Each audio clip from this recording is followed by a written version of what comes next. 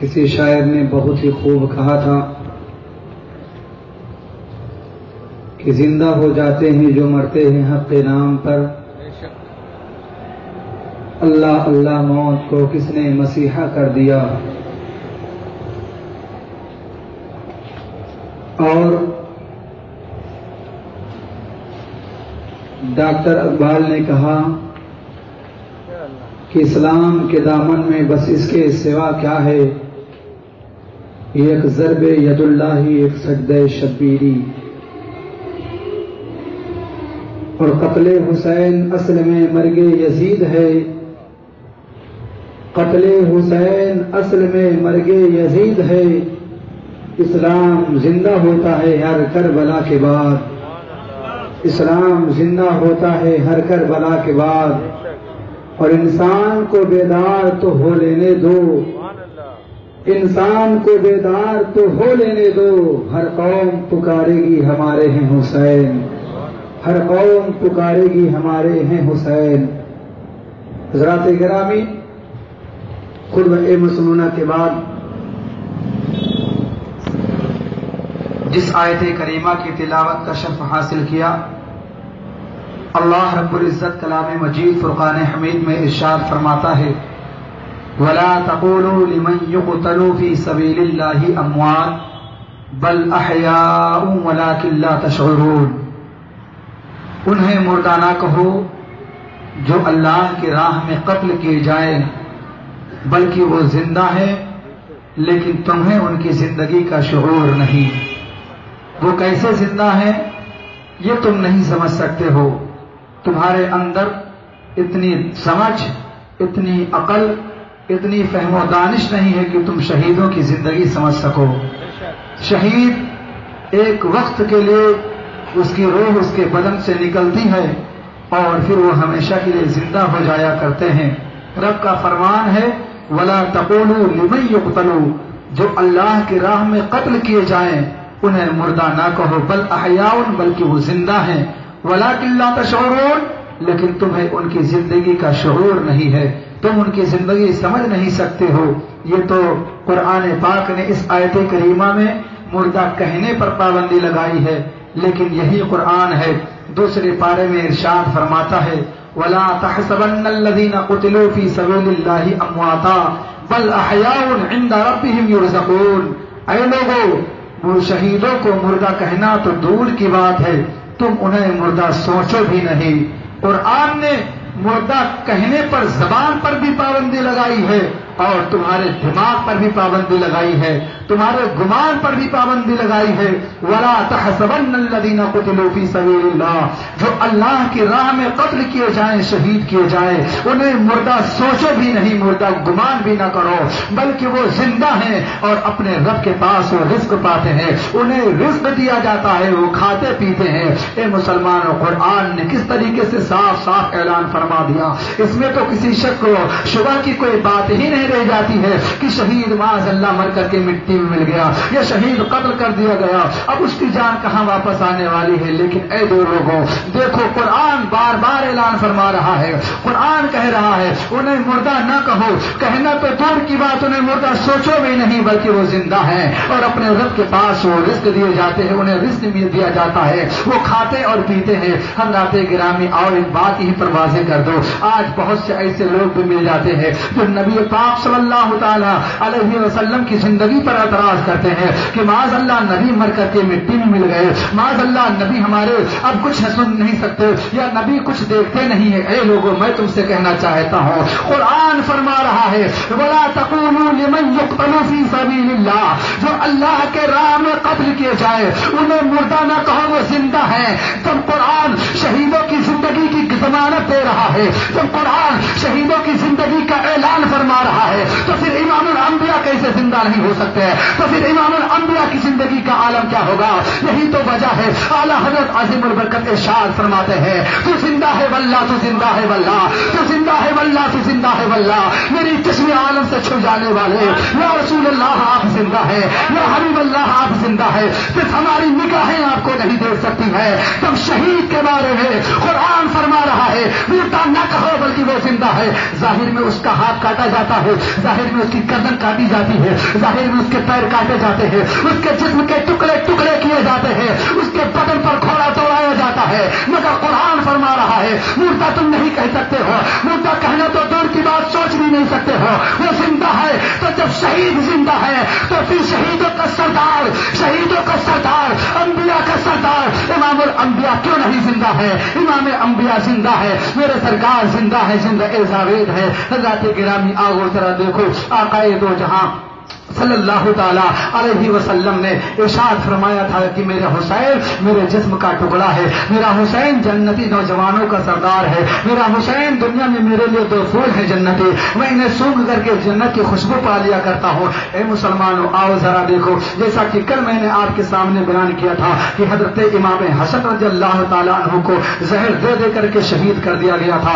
آپ کے دشمنوں نے آپ کو زہر دے دیا تھا اور آپ کی شہادت ہو گئی تھی۔ امام حسن نے صرف چھ مہینہ تک خلافت کے کام کو انجام دیا تھا۔ اس کے بعد آپ نے خلافت کی ذمہ داری حضرت امیر معاویہ کو دے دیا تھا۔ حضرت امیر معاویہ رضی اللہ تعالیٰ عنہ نے خلافت کی ذمہ داری کو بڑے اچھے طریقے سے انجام دے رہے ہیں۔ لیکن جب آپ کا وسال ہونے والا ہوا، جب آپ اس دنیا سے جانے والے ہوئے، حضرت امیر معاویہ نے ایک خط لکھا تھا۔ اے امام عال مقام، اب میں اس دنیا سے جانے والا ہوں اور اب آپ خلافت کی ذمہ داری کو سنبھالیے۔ اب آپ اپنے طریقے سے جسے چاہیں اپنا خلیفہ بنائے، یہ عام مسلمین کا معاملہ تھا، یہ تمام لوگوں کا معاملہ تھا کہ مسلمان خلیفہ جب مثال کر جائے تو مسلمان جسے چاہے اپنا خلیفہ بنائے، جسے چاہے اپنا امام چن لے۔ چنانچہ حضرت امیر معاویہ کا مثال ہو جاتا ہے، لیکن انہی کا بیٹا یزید ہے، انہی کا بیٹا یزید ہے۔ یہ ظالم زبردستی تخت کو سنبھالتا ہے، تخت پر بیٹھتا ہے، حکومت کی باغو ڈور اپنے ہاتھ میں لے لیتا ہے اور جب حکومت کی باغو ڈور سنبھالتا ہے تو سب سے پہلے اس نے یہ کام کیا کہ سب سے بڑا خطرہ اس کو امام عالی مقام سے تھا، سب سے بڑا خطرہ اسے نبی کے گھر والوں سے تھا۔ یہ ظالم صحابی کا بیٹا تھا، مگر اسے اتنی عقل نہ تھی کہ صحابی، نبی پاک صلی اللہ علیہ وسلم کے شہزادوں کا مقام کیا ہے۔ اس ظالم نے سب سے پہلے خط لکھا، مدینہ کے گورنر کے پاس کہ اے مدینہ کے گورنر، میں یزید ہوں اور میں نے حکومت سنبھال لیا ہے۔ میرے باپ کا مثال ہو گیا ہے، میں تخت پر بیٹھ چکا ہوں اور اب میں تم کو خط لکھ رہا ہوں۔ تم لوگ مدینہ مدینے والوں سے میرے میری بیعت کر لو اور تم لوگ مدینے والوں سے کہو کہ تم مدینے والے یزید کی بیعت کریں۔ بالخصوص امام عالی مقام، حضرت عبداللہ بن زبیر، حضرت طلحہ، ان لوگوں سے کہو کہ وہ میری بیعت کرے اور وہ میرے ہاتھ پر اپنا ہاتھ دے دے، میری حکومت تسلیم کر لے۔ حضرت امام عال مقام رضی اللہ تعالیٰ عنہ کو مدینہ کے گورنر نے بلایا۔ اے امام عال مقام، تشریف لائیے۔ میرے سرکار امام حسین گئے۔ شام کا وقت تھا۔ حضرت امام عال مقام کی بارگاہ میں مدینہ کے گورنر نے سلام پیش کیا اور اس کے بعد کہنے لگا، اے امام عال مقام، یہ یزید کا حکم نامہ آیا ہے۔ یزید نے خط لکھا ہے، آپ کے لیے وہ بیعت کا مطالبہ کر رہا ہے۔ کہ آپ اس کے ہاتھ پر بیعت کر لے۔ امام عال مقام نے جیسے تنا سنا۔ امام عال مقام کو معلوم تھا کہ وہ ظالم ہے۔ امام عال مقام جانتے تھے کہ وہ جابر ہے۔ امام عال مقام کو پتا تھا کہ اس نے سن و ستم کے پہاڑ توڑے ہیں اور وہ اتنا بڑا ظالم ہے کہ وہ تاریخ نماز بھی ہے۔ وہ فاسق و فاشد ہے۔ وہ زانی ہے۔ وہ لونڈیوں کو اپنے محل میں نچایا کرتا ہے۔ وہ لوگوں کے گانے دیکھا کرتا ہے۔ ان کو نچا نچا کر کے ان کو دیکھا کرتا ہے۔ امام عال مقام سے واقف ہے آپ نے فرمایا، اے مدینہ کے گورنر کہ آپ اس کے ظلم و شرح کے بارے میں نہیں جانتے ہیں؟ کہ آپ کو پتا نہیں وہ تاریخ نماز ہے؟ کہ آپ کو پتا نہیں وہ فاسق و فاضر ہے؟ کہ آپ کو پتا نہیں وہ ثانی ہے؟ کیا آپ چاہتے ہیں کہ امام عالم مقام اپنا پاک ہاتھ ایک ناپاک کے ہاتھ میں دے دے یہ زندگی میں ہو ہی نہیں ہے، یہ وہ ہاتھ ہے جسے رسول اللہ نے چوما ہے۔ ان ہاتھوں کو رسول اللہ نے چوما ہے۔ اب یہ ہاتھ کسی ناپاک آدمی کے ہاتھ میں نہیں جا سکتے۔ امام اپنی گردن کٹا دے گا۔ امام حسین اپنے جسم کے ٹکڑے ٹکڑے ہونا گوارا کرے گا۔ مگر اپنا ہاتھ یزید کے ہاتھ میں نہیں دے سکتے ہیں۔ امام عال مقام نے فرمایا، اے مدینے کے گورنر، کہ آپ کو پتا ہے نا کہ وہ کتنا ظالم ہے۔ اور میں اگر اس کی حکومت کو تسلیم کر لیتا ہوں، تو اس کو چانس مل جائے گا۔ پھر وہ شریعت اسلامیہ کا خون کرے گا اور مذہب اسلام کا وہ خون کر دے گا، شریعت کو پامال کر دے گا اور لوگ مجھ پر گلے اٹھائیں گے۔ اسے موقع مل جائے گا کہ جب امام عال مقام نے میری بیعت کو تسلیم کر لیا ہے، تو اب کون ہے جو مجھے روکے گا؟ پھر وہ اپنی منمانی اور زیادہ کرنے لگے گا۔ اے لوگوں میں امام عال مقام ہوں، میرا نام حسین ہے اور میں کسی قیمت پر یزید کی بیعت نہیں کر سکتا ہوں۔ امام عال مقام رضی اللہ تعالیٰ نے بیعت کرنے سے انکار کر دیا اور آپ گورنر ہاؤس سے اٹھ کر کے فوراً باہر جانے لگے۔ تب تک اسی گورنر ہاؤس میں مروان بیٹھا تھا۔ یہ ظالم بہت بڑا فتین تھا۔ اس نے کہا، اے ولید بن اقبا اے ولید، سنو سنو، دیکھو، حسین بن علی جا رہے ہیں اور تم نے یزید نے تم کو حکم دیا ہے کہ اگر حسین بیعت نہ کرے، میری حکومت تسلیم نہ کرے، تو تم ان پر ظلم کرنا، ان پر تشدد کرنا، ان پر سختی کرنا۔ اے ولید، تم ان پر سختی کیوں نہیں کر رہے ہو؟ اس سے اچھا موقع کہاں ملے گا۔ میرے حسین، تمہارے حسین بن علی تمہارے گھر میں ہے۔ اتنا سننا تھا امام علی مقام سن لیتے ہیں۔ آپ نے جیسے سنا، فوراً پلٹ کر کے آئے، اپنی تلوار نکالا۔ مروان، تو سالم ہے۔ کیا تجھے پتا نہیں ہے کہ میں رسول اللہ کا شہزادہ ہوں؟ رسول اللہ کا نوازا ہوں۔ کیا تجھے پتا نہیں ہے؟ میں اس ظالم کے ہاتھ پر بیٹھ کر لوں تو مجھ سے سختی کرے گا۔ تو میرے اوپر تشدد کرے گا۔ امام علی مقام نے جب اتنا فرمایا، تو گورنر مدینہ نے کہا، اے حسین ابن علی سے معاف کر دیا دیجیے۔ آپ نے اپنی تلوار سمیٹ لی اور اس کے بعد باہر نکل کر اپنے گھر آتے ہیں۔ امام علی مقام گھر کے کونے میں جا کر بیٹھ گئے۔ بہت دیر تک غور و فکر کیا، سوچا اور اس کے بعد گھر والوں کو حکم دیا، اے میرے گھر والوں اب تم لوگ سفر کی تیاری کرو۔ اب تم لوگ یہاں سے نکلنے کی تیاری کرو۔ اب ہمارا مدینے میں رہنا صحیح نہیں ہے۔ اب ہمارا مدینے میں رہنا ٹھیک نہیں ہے۔ اس لیے کہ یزید نے حکومت سنبھال لی ہے۔ جیسے تخت پر بیٹھ گیا ہے اور وہ بیعت کا مطالبہ کر رہا ہے اور اگر میں بیعت نہیں کر رہا ہوں، تو وہ خون کی ندیاں مدینے کی گلیوں میں بہائے گا۔ اے میرے گھر والوں تم لوگ مدینے سے نکلنے کی تیاری کرو۔ امام علی مقام رضی اللہ تعالیٰ نے جیسے اتنا فرمایا، گھر والے نے پوچھا، ہم مدینہ چھوڑ کر جا رہے ہیں؟ کیا ہم ہمیشہ کے لیے مدینہ چھوڑ رہے ہیں؟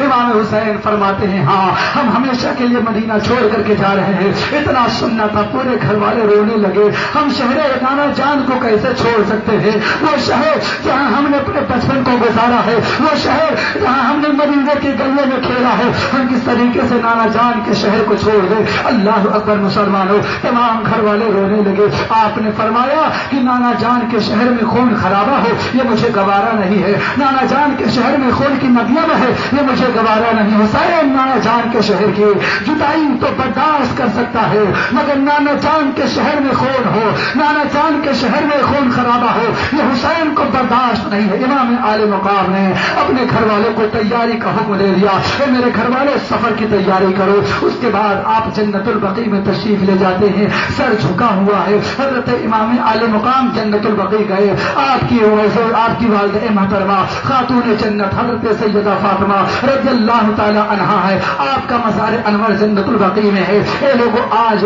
سعودی حکومت نے امام علی مقام کی والد محترمہ حضرت فاطمہ الزہرا رضی اللہ تعالی عنہا کے مزار کو اٹھا دیا ہے۔ صرف ایک زمین پر نشان بنا ہوا ہے کہ یہی خاتون جنت کی مزار ہے۔ یہی خاتون خاتون جنت کا قبر ہے۔ چنانچہ امام علی مقام گئے اور جانے کے بعد حضرت خاتون جنت کے روزے سے اپنے آپ کو لپٹ جاتے ہیں اور اس کے بعد بیٹھ کر کے رونے لگے۔ اے ماں، اے خاتون جنت، اے سیدہ فاطمہ، آج حسین، آج آخری سلام کرنے کے لیے آپ کی بارگاہ میں حاضر ہوا ہے۔ اے میری ماں، تم آخری سلام لے لو۔ اے ماں، میں وہی حسین ہوں جسے تم نے قرآن پڑھ کر کے سلایا تھا، قرآن پڑھ کر کے جگایا تھا۔ اے ماں، میں وہی حسین ہو کہ جن کے رونے سے تم رونے لگ لگا کرتے تھے، جن کے پریشان ہونے سے تم پریشان ہو جایا کرتی تھی۔ اے ماں، آج حسین مدینہ چھوڑ کر جا رہا ہے۔ جانے کو تو دل نہیں کہتا، مگر مذہب اسلام کی خاطر جانا پڑے گا۔ نانا کی شریعت کی خاطر جانا پڑے گا۔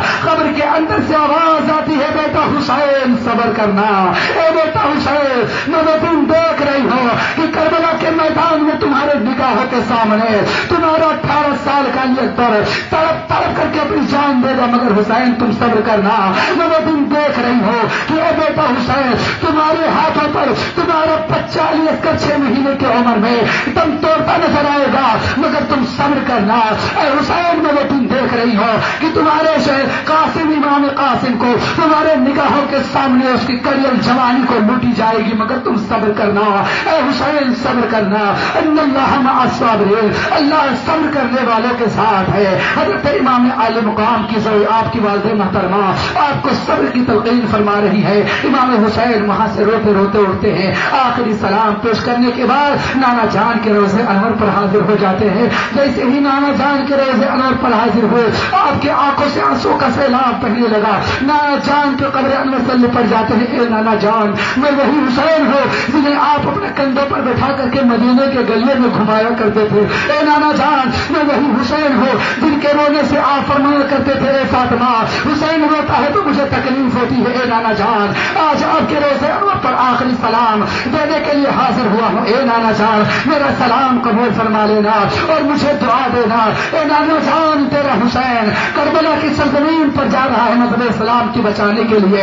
اے نانا جان، مذہب اسلام کی خاطر تمہارے شہر کو چھوڑ کر کے جا رہا ہو اے نانا، جان، جانے کا تو دل نہیں کہتا ہے۔ مگر جانا پڑے گا عظمت اسلام کی خاطر۔ جانا پڑے گا آپ کی شریعت کی خاطر۔ اے نانا جان، آپ سے جو وعدہ میں نے کیا تھا، آج اس وعدے کو نبھانے کا وقت قریب آ چکا ہے۔ اے نانا جان، جا رہا ہوں۔ آقائے دو جہاں۔ صلی اللہ تعالی علیہ وسلم کے اس پیارے سے پیارے شیدائی اور امام عال مقام پر نیند کا غلبہ ہو جاتا ہے۔ قبر انور سے لپٹ کر کے رو رہے ہیں۔ زارو قطار آنسو بہ رہے ہیں۔ جیسے ہی نیند کا غلبہ سا تاری ہوا امام عالی مقام کی آنکھیں بند ہو ہوتی ہے اور سرکار دو جہاں صلی اللہ تعالی علیہ وسلم خواب میں تشریف لاتے ہیں، آپ فرماتے ہیں، اے بیٹا حسین اللہ عاطل حسین صبر اجرا۔ اے حسین، صبر حسین کو، اے اللہ حسین کو صبر اور اجر عطا فرمانا۔ اے پروردگار حسین کو صبر عطا فرمانا۔ نانا جان فرما رہے ہیں، بیٹا حسین، جاؤ، اللہ تمہیں صبر دے۔ اے بیٹا حسین، جاؤ۔ جا رہے ہو شریعت کو بچانے کے لیے۔ جا رہے ہو مطلب اسلام کے بقا کے لیے۔ اے بیٹا حسین، جاؤ۔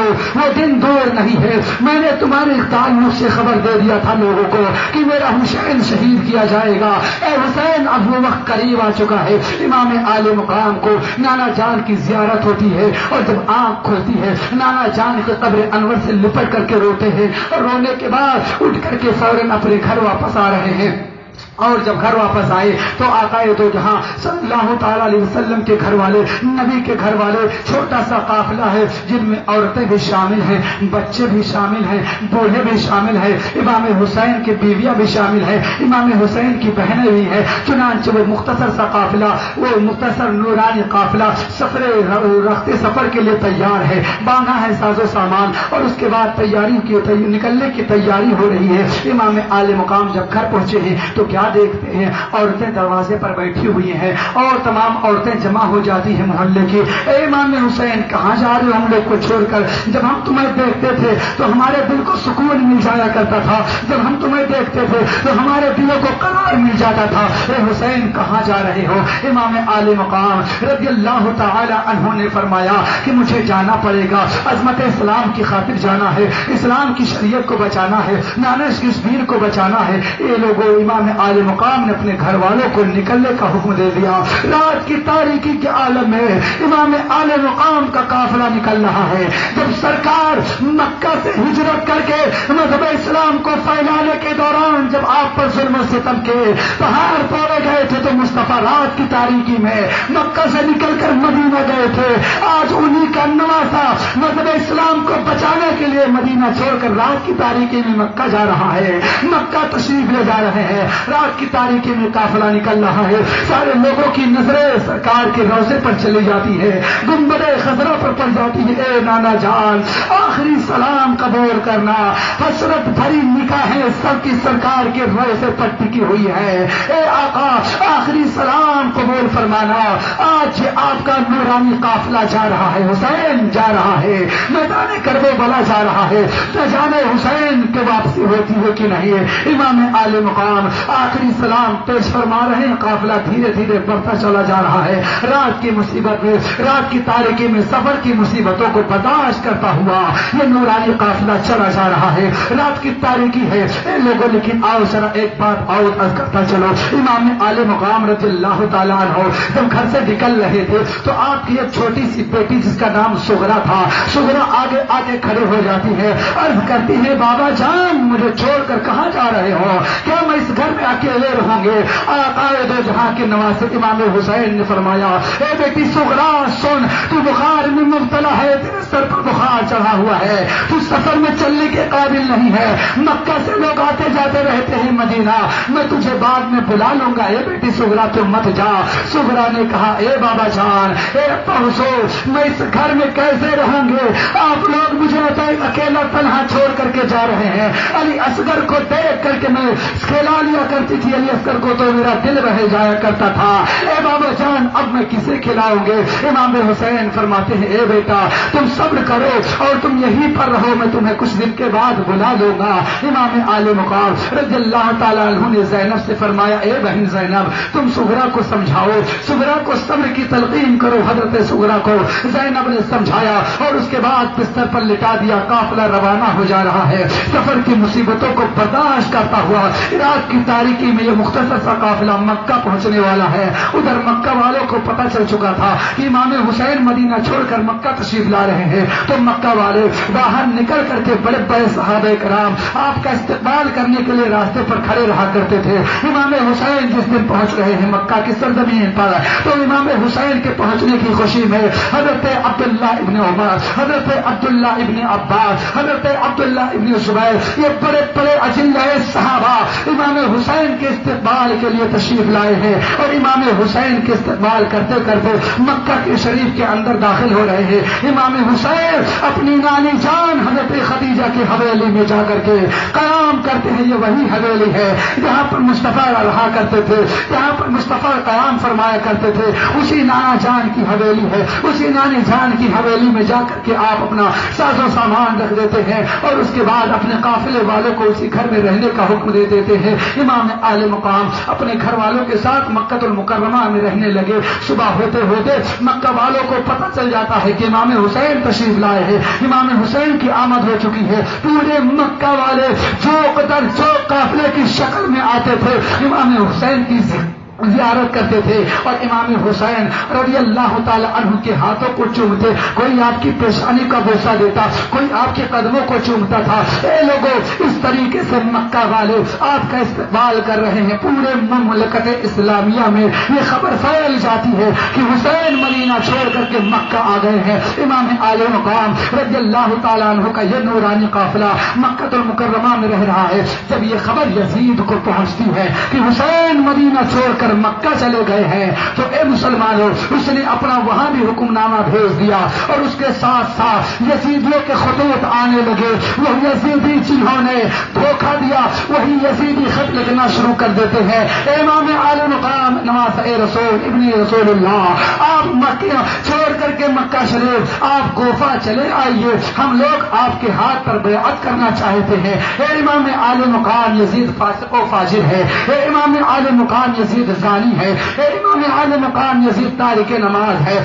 ہم اس کے ہاتھ میں اپنا ہاتھ نہیں دیں گے۔ ہم اس کے ہاتھ پر بیعت نہیں کریں گے۔ امام عال مقام کی بارگاہ میں ایک نہیں، دو نہیں، سو نہیں، بلکہ ڈیڑھ سو خطوط امام عال مقام کی بارگاہ میں پہنچ رہے ہیں۔ سب میں یہی لکھا جا رہا ہے، حسین آ جائیے، حسین تشریف لائیے۔ اگر آپ نہ آئے تو کل قیامت کے میدان میں جمرت تعالیٰ ہم سے پوچھے گا کہ تم نے ایک فاسق و فاجر کے ہاتھ پر بیعت کیوں کیا؟ تو ہم لوگ آپ کو پیش کر دیں گے کہ ہم نے آپ کے محبوب کے نواسے کو، اے پروردگار، ہم نے تیرے محبوب کے نواسے کو بلایا تھا، مگر وہ نہ آئے تھے۔ ہم نے مجبوراً بیعت کی تھی۔ ہم نے مجبوراً یزید کے ہاتھ میں اپنا ہاتھ دیا تھا۔ اے امام عالم مقام، تشریف لے آئیے۔ امام حسین نے ان تمام خطوں کو صحابہ کے سامنے کھول کر کے پڑھ دیا اے صحابہ، یہ دیکھو، کوفہ والوں کے خط آ رہے ہیں، مگر صحابہ جانتے تھے کہ یہ کوفہ والے بڑے خطار ہیں، کوفہ والے بڑے ظالم ہیں، یہ بہت بڑے فریبی ہیں،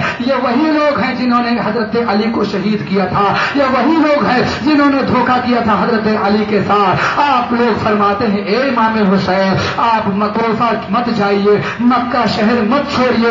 آپ کو یہاں کسی چیز کی کوئی تکلیف ہم لوگ نہیں ہونے دیں گے۔ آپ جماعت رسول اللہ ہیں، آپ اگر جائیں گے تو کوفیوں کا کوئی بھروسہ نہیں ہے۔ وہ کب آپ پر ظلم و ستم کے پہاڑ توڑ دیں کب وہ اپنے وعدے سے مکر جائے، کب وہ دھوکہ دے دے، آپ کو اس کا کچھ پتا نہیں ہے، کچھ اندازہ نہیں لگایا جا سکتا ہے۔ امام حسین فرماتے ہیں، اے لوگوں لیکن یہ بتاؤ، میرے پاس عذر شرعی کیا ہے؟ اگر ان لوگوں نے قیامت کے میدان میں خدا کے سامنے یہ کہہ دیا، تو میں اپنے نانا جان کو کون سا منہ دکھاؤں گا؟ میں نانا جان کو کیا منہ دکھاؤں گا؟ اگر ان لوگوں نے عزیز کی بات کر لے اور کر قیامت کے میدان میں جب تعالیٰ مجھ سے سوال کرے گا۔ اے حسین، جب ان لوگوں نے تم کو بلایا تھا تو تم کیوں نہیں گئے تھے؟ اس وقت میرے پاس کیا جواب ہوگا؟ حضرات گرا میں امام عالم مقام رضی اللہ تعالیٰ عنہ نے جب اتنا کہا تو صحابہ کرام نے مشورہ دیا کہ امام حسین، پہلے آپ وہاں مت جائیے، بلکہ کسی کو اپنا نائب بنا کر کے بھیج دیجیے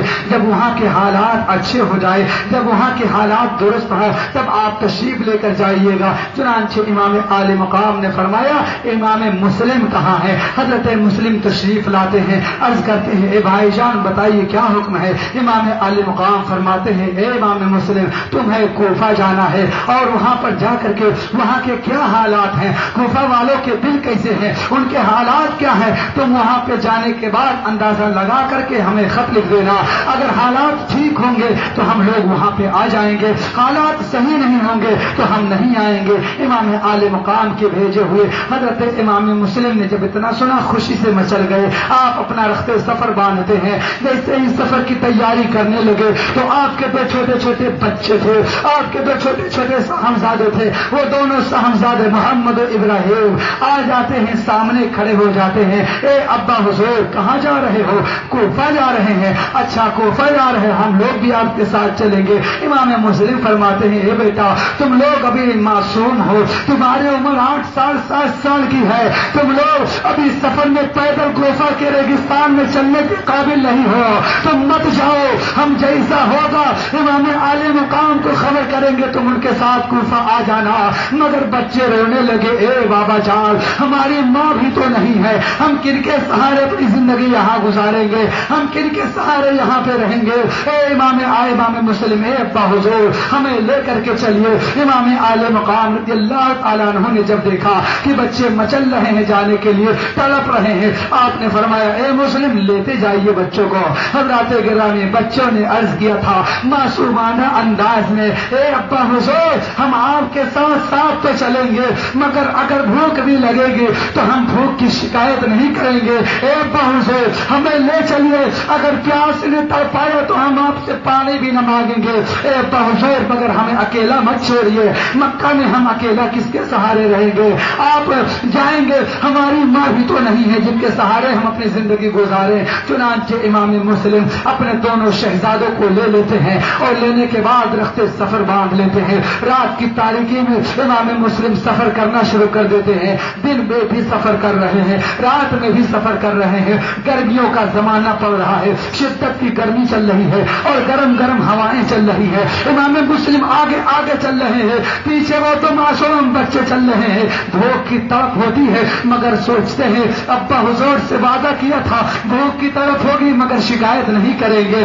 پیاس کی طرف ہوگی مگر شکایت نہیں کر رہے ہیں۔ بھوکے پیاسے کوفہ کے ریگستانوں میں سفر کرتے ہوئے امام مسلم کافا تم کوفہ کی سرزمین پر پہنچ جاتے ہیں۔ جب کوفہ والے کو پتا چلا کہ امام مسلم آئے ہیں، امام حسین نے ان کو اپنا نائب بنا کر کے بھیجا ہے۔ تو امام عال مقام کے بھیجے ہوئے، امام مسلم کے لوگوں کو کے لوگوں کے لیے امام مسلم کی محبت اس طریقے سے لوگوں کے دل میں بس جاتی ہے کہ امام مسلم کے لیے لوگ سڑکوں پر نکل آئے اور آپ کا استقبال خوب زوردار انداز میں کرتے ہیں اور اس کے بعد جب آپ کا قیام کوفہ کی سرزمین پر ہو رہا ہے، تو لوگ چوک تر چوک آ آ رہے ہیں۔ لوگ قافلے کی شکل میں آ رہے ہیں اور امام مسلم کی زیارت کر رہے ہیں۔ کوئی امام مسلم کا ہاتھ چوم رہا ہے، کوئی امام مسلم کے پیشانی کا بوسا لے رہا ہے، کوئی امام مسلم کے پیروں کا دھوبا لے جا کر کے اپنے گھر میں چھڑک رہا ہے۔ کوئی معصوم بچوں کی پیشانی چوم رہا ہے، تو کوئی معصوم بچوں کے پیروں کے دھوبن کو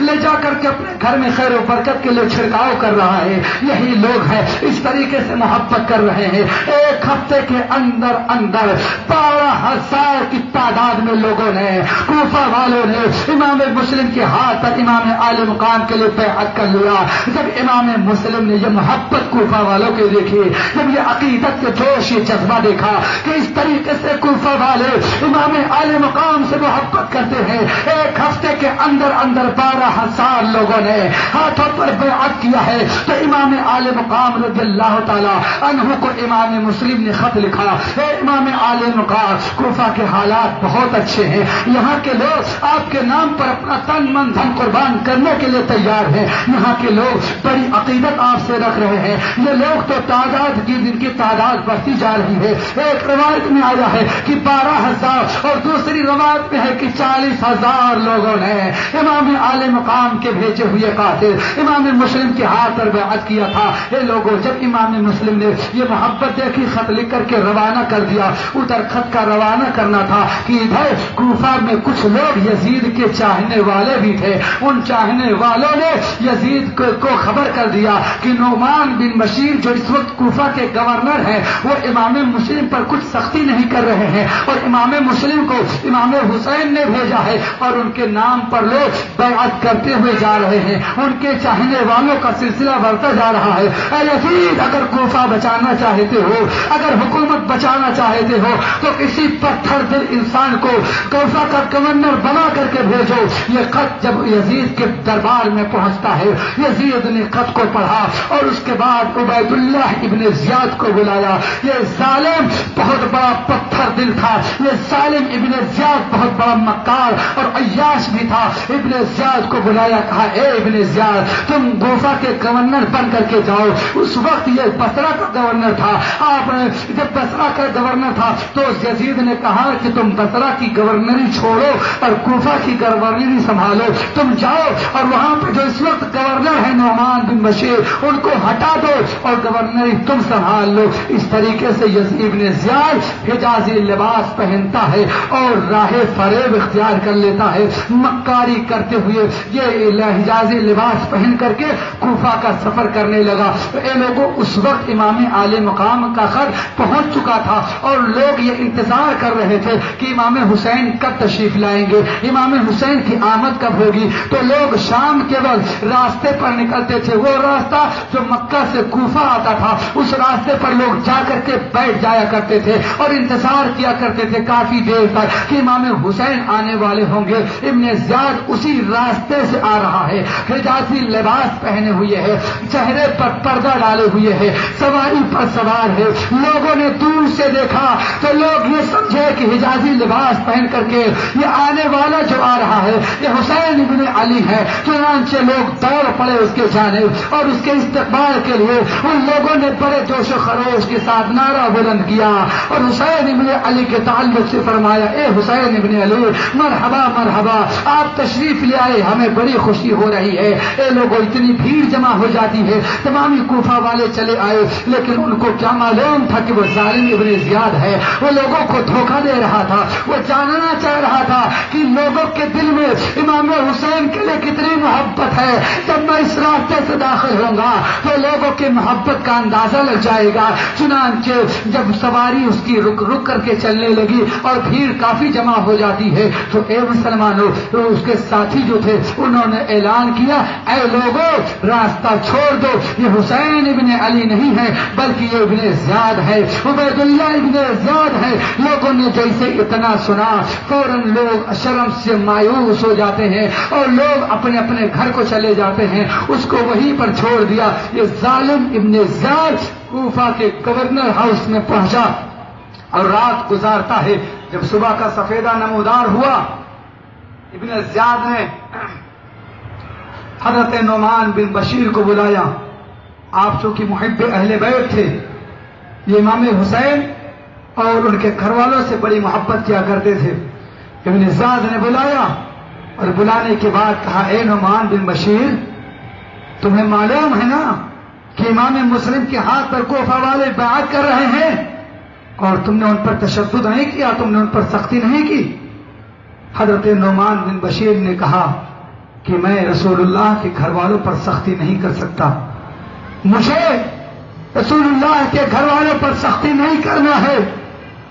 نعمان بن بشیر نے جب اتنا کہا تو ابن زیاد نے کہا، اے نعمان بن بشیر، تمہیں گورنری سے ہٹایا جا رہا ہے۔ یہ دیکھو، یزید نے آپ کو بازول نامہ دیا ہے۔ آپ گورنری چھوڑیے اور گورنری کا گورنری کا عہدہ مجھے دیا جا رہا ہے۔ یہ یزید کا حکم نامہ ہے، آپ اسے پڑھ لیں۔ حضرت نعمان بن بشیر نے اس کاغذ کو لیا اور پڑھنے کے بعد اللہ کا شکر ادا کیا، الحمدللہ، اللہ کا لاکھ لاکھ شکر احسان ہے کہ میں اس عظیم بلا میں پڑھنے سے بچ گیا۔ اگر یہ پھر میں حکومت کا کارندہ تھا، میں حکومت کا کام کرنے والا تھا، اگر یہ مجھ سے مطالبہ کرتا تو کہیں ایسا نہ ہو کہ میں یزید امام مسلم کے لیے سختی کرتا۔ بہت اچھا ہوا کہ میں اس سے پہلے ہٹ گیا، چنانچہ آپ نے اس کو منظور کیا اور دربار سے باہر چلے آئی جب ابن زیاد بیٹھتا ہے کرسی پر، تخت پر بیٹھا، بیٹھنے کے بعد اس نے کوفہ کی گلیوں میں اعلان کرا دیا کہ کوئی بھی امام مسلم سے کوئی تعلق نہ رکھے گا۔ سارے لوگ اپنا رشتہ توڑ دیں، اپنا تعلق توڑ دیں۔ اگر نہیں توڑیں گے تو یاد رکھو کہ میں گورنر ابن زیاد ان لوگوں کو ایسی سخت سزا دوں گا کہ وہ لوگ یاد رکھیں گے، ان کے بچوں کو یتیم کر دیا جائے گا، بیویوں کو بیوہ کر دیا جائے گا۔ امام مسلم کے تعلق سے آپ کے خلاف جب اس نے یہ اعلان کرایا تو کچھ لوگ تو ایسے تھے کہ جنہوں نے فوراً بیعت کو توڑ دیا۔ کہیں ایسا نہ ہو میری بیوی کو قتل کر دیا جائے، کہیں ایسا نہ ہو میرے بچوں کو یتیم کر دیا جائے۔ کہیں ایسا نہ ہو میرے مال دولت پر قبضہ کر کے مجھے بے گھر کر دیا جائے۔ ابن زاد کیونکہ بڑا پتھر دل انسان تھا، تو کچھ لوگوں نے تو فوراً بیعت کو توڑ دیا اور کچھ لوگ ایسے تھے جنہوں نے